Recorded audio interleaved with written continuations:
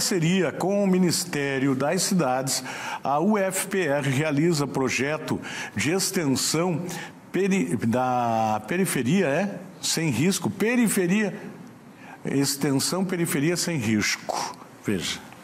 A partir de agora, os municípios de Paranaguá e Colombo, no Paraná, e mais 18 cidades do país participam de um planejamento de redução e gestão de riscos ambientais e naturais, elaborado pelo Ministério das Cidades e do Departamento de Mitigação e Prevenção de Risco da Secretaria Nacional de Periferias, com apoio das universidades federais. Eles criarão estratégias de prevenção nos municípios. A gente já tem previamente identificado as áreas principais de risco a alagamentos, enchentes, e também a gente está discutindo de maneira inédita a questão das mudanças climáticas e alteração do nível do mar, já que a tem cerca de 30 mil famílias morando na cota no nível do mar aqui em Paranaguá. Será a UFPR, através de critérios de priorização da gestão de risco, que apontará o número de pessoas em áreas de risco geológico e hidrológico, como deslizamentos e inundações. Isso surgiu de uma interação que a gestão municipal tem junto às universidades federais, estaduais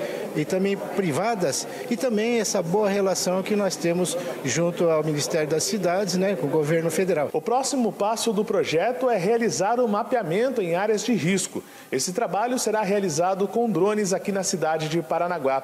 Depois, em um segundo momento, pesquisadores irão visitar casa a casa para ver a realidade. Todo esse trabalho será apoiado pelas secretarias municipais de Paranaguá. Mas além né, da Secretaria de Urbanismo, a gente tem a Secretaria de Meio Ambiente, Secretaria de Obras, de Assistência Social, Saúde.